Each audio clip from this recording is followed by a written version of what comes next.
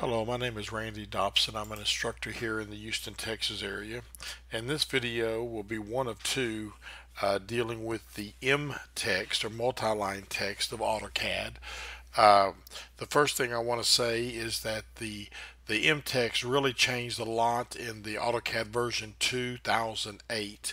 Uh, before that, uh, most people were using the single line text, which I don't teach in my courses. Everybody's pretty much moved to multi-line text.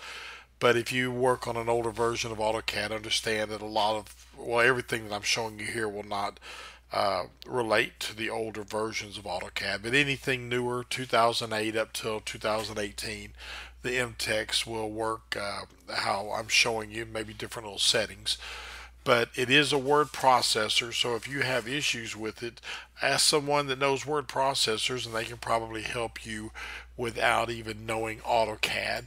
Uh, it's right up here under your annotate and as you can see there's multi and single line. We're going to deal with multi-line text. And you notice up here here's all the annotation uh, different dimensions and stuff but watch when I select multi-line text it's asking me for a corner. It wants a box. Now, this box can be changed, so don't worry about it if it's too big or too small. I'm just going to click right here. And as you can see now, this is all turned to uh, a word processor uh, information. Here's your justifications. Uh, here's your formatting if you want to slant it, the width of it, uh, if you want to underline it, make it bold, here's your left justification, center justification, uh, and so on. Uh, but uh, again, it works like I'm just going to do it on left. And if I start typing here, Houston Community College in Houston, Texas, as you notice, it wrapped around. Uh, let me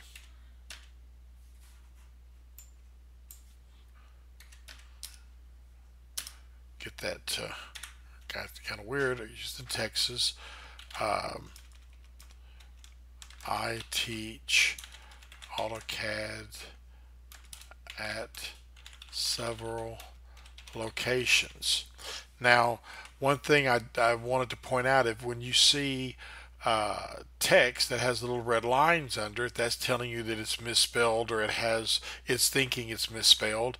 All you have to do is just right click over it and at the very top it will give you suggestions there's a whole bunch of other things here but really I'm just wanting you to look at that I can change it to several and then of course AutoCAD even though it is spelt right if you right click it likes to uh, increase the CAD to uppercase so I will do that when I'm done I can either click outside the box or click close text editor click here or just click outside the box and now you see that the text is closed if I select it with my grips, as you can see, I can change this box size to whatever I need it to be. So again, it doesn't matter what that is when you're typing it up. It only takes a second to come and fix that. Uh, it's really just uh, so much easier to use. Uh, there's also a, uh, uh, when you'll notice with the text, there's a find and replace. If you just type in find, you could come over here and change uh, the word Houston and say that you want to put Harris County instead. I go replace all. Okay. And here Harris County Community College in Harris County, Texas. So it, it can change that for you if you need to make a global change. Uh, one thing I do recommend for my students uh, is that if you need to do text at an angle, I find that just doing it straight and then just going back to your rotate command, picking your text, and if you want to be 90 degrees, just select somewhere, type 90, and there it is. Okay, the nice feature that AutoCAD has done is when you have text like this, watch what happens when I double click it to edit it it turns it square for you to read. Really nice thing. I could say at several locations, uh, including uh, Cy-Fair, Bissonnet campuses.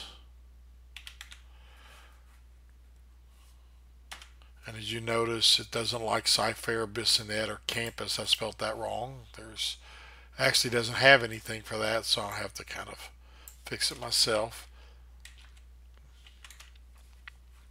Now one thing also to remember is say if I wanted this all to be underlined if I go and select underline nothing happens you have to highlight whatever you want to change. If I wanted Harris County Community College to be underlined, I have to highlight it.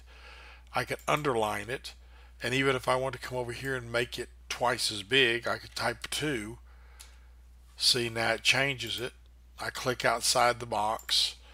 And there, if I need to make it larger, I can make it larger. Okay. I will rotate it back just so we can kind of read it a little bit better and you know I can fix it up any way I want to if I wanted it to be where this is this is centered under that I would have to come here highlight all of this go centered and now you can see that it's been centered. So that's that's one of the big things to remember. Uh, but like I said once you double click on it it now opens up the editor box. And this is all here's your symbols. If you want to add a flow line or a delta or an angle uh, diameter uh, you know degrees plus or minus uh, you've got the symbols up there to do. Uh, I'm going to go into columns in the set next uh, uh, video but you've got spell check you can create a you can make your dictionary by adding words to it so it won't pick them up say like Cy-Fair and Bissonnet you know I could go to to the right click and go add to dictionary and I could right click on Bissonnet and say add to dictionary. That way when I type it up again you notice it doesn't highlight it doesn't give the red because now so you can build your own dictionary which is really really nice. Just make sure it is spelled correctly uh, and uh, you know it's again it is a basic word processor. Uh, you can change styles. If I wanted to come over here I could highlight Houston or Harris County Community College and if I wanted to change it to this one notice how it's changing. I could come down here and go to this one. I could go to this one.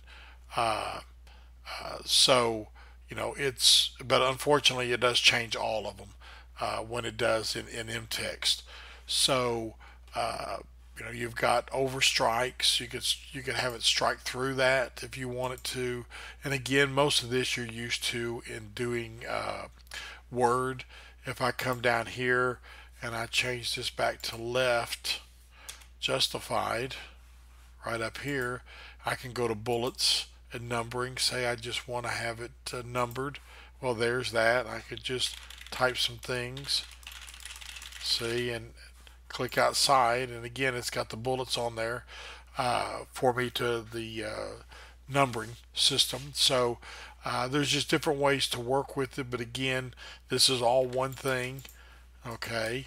I'm moving it around but whenever you double click on it that's when it opens up the box. You've got your tabs up here your your indexes your margins. You can you know you can set things uh, let me see if I see I can move that margin I could move that margin and so on. So again very helpful tool. It's changed a lot over the years but uh, MText is is the way to go now. And that concludes this video first video on MText. Thank you